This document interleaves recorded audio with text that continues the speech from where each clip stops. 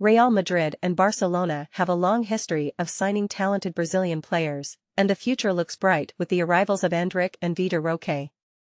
These young strikers have already signed for the clubs, but they can't join them just yet. Endrick has to wait until he turns 18 next July, while Roque is expected to join Barcelona in January. Endrick's signing for Madrid was a strategic move to secure a future top player before his price skyrocketed.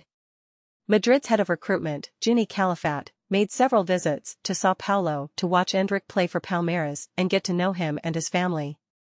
The charm offensive continued with meetings between Endrick and Madrid's head coach Carlo Ancelotti. Madrid president Florentino Perez gave his approval, and a deal was struck. Endrick will join the first team squad when he turns 18 next summer. Barcelona, on the other hand, signed Vitor Roque as the first signing of Deco's era as the club's sporting director.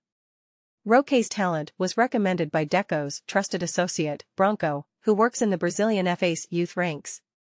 Barcelona saw this as an opportunity to make up for their failed pursuit of Endrick.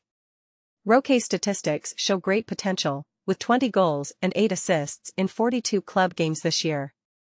He is expected to join the squad in January, although Barcelona's financial situation may pose some challenges. Both Madrid and Barcelona have been closely monitoring the progress of these young talents. Madrid has been in regular contact with Endrick and his family, ensuring his development both on and off the field. Barcelona, despite their financial difficulties, remain committed to bringing Roque to the squad as soon as possible.